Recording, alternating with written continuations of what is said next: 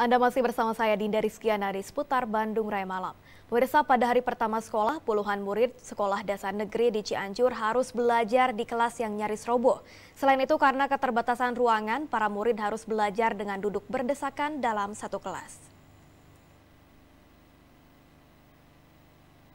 Beginilah kondisi para murid SDN Jaya Mekar di Kampung Bantaka, Desa Muara Cikadu, Kecamatan Sindang Barang, Kabupaten Cianjur. Di hari pertama masuk sekolah, para siswa ini harus belajar di ruangan kelas yang nyaris roboh.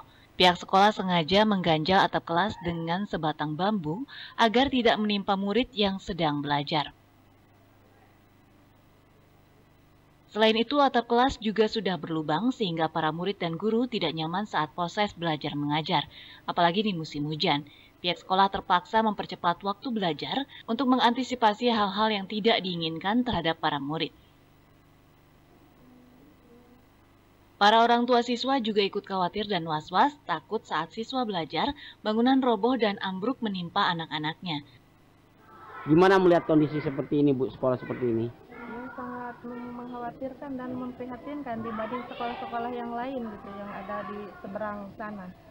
Saya menyekolahkan di sini karena orang sini, karena kalau di sekolah kan di seberang sana kan nanti kalau musim hujan repot harus naik turun perahu kalau kalinya lagi itu naik kalau lagi banjir lagi banjir nggak bisa sekolah jadi itu dulu alpa dulu sekolahnya makanya terpaksa disekolahkan di sini walaupun kondisinya seperti ini Menurut pihak sekolah, dirinya sudah beberapa kali mengajukan renovasi sekolah ke Dinas Pendidikan Cianjur. Namun hingga saat ini tidak pernah ada realisasi. Selain itu, sekolah ini juga mengalami keterbatasan ruangan kelas. Pihak sekolah terpaksa menggabungkan para murid yang berbeda kelas dalam satu ruangan. Ini keberadaan bangunan seperti ini dari tahun berapa, Pak?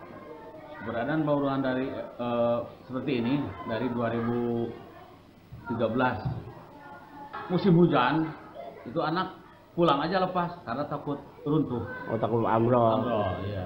Ya, Tapi pihak sekolah sudah mengajukan, Pak, ke dinas. Pihak sekolah sudah mengajukan uh, bulan kemarin kalau tidak salah Mei ya Mei, Mei di Perpal dari pihak pemerintah khususnya tim terkait katanya akan diberi rehab saja bukan RKB kemauan pihak sekolah.